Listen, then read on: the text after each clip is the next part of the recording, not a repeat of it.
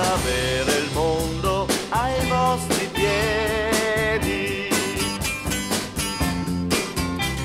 E non pensate che esiste lui, di fronte al quale voi non siete niente.